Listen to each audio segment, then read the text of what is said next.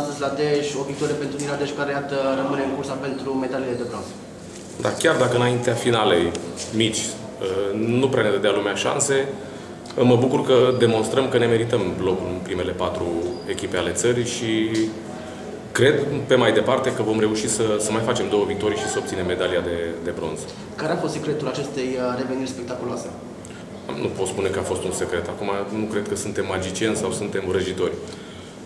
Cred că am fost un pic timorați în primele, în primele două seturi și am făcut unele greșeli copilărești și practic acolo s-a, s-a rupt filmul seturilor.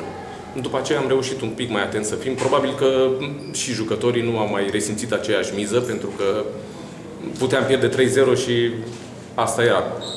Și probabil pe fondul acesta un pic de relaxare, de liniște am, am reușit să întoarcem jocul. Urmează mâine o nouă partidă. Cum vedeți acest meci?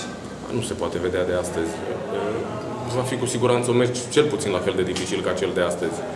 Uh, noi, practic, jucăm fiecare meci cu cuțitul la os. Trebuie să câștigăm pentru a rămâne în, pe mai departe în lupta pentru medalia de bronz. Uh, va fi un meci încrâncenat și poate chiar un pic mai tensionat decât meciul de astăzi.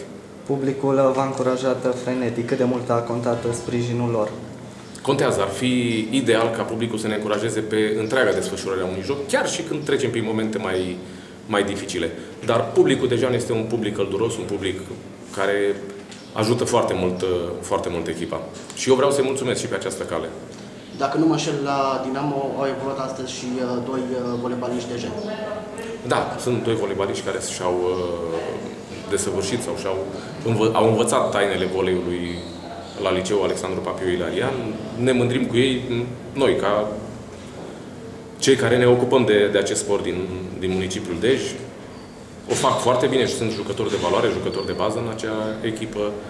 Dinamo este o echipă experimentată, mult mai experimentată decât noi și cu jucători pe o, de o valoare individuală incontestabilă.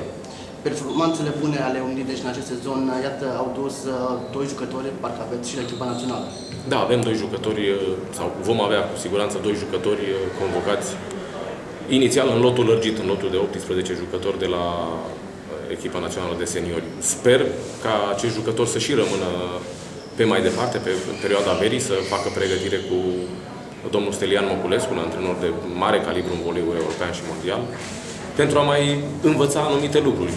Pentru că dânsul are o anumită calitate, are undeva la 40 de ani de, de antrenorat, are o experiență vastă și cred că n-ar avea decât de învățat.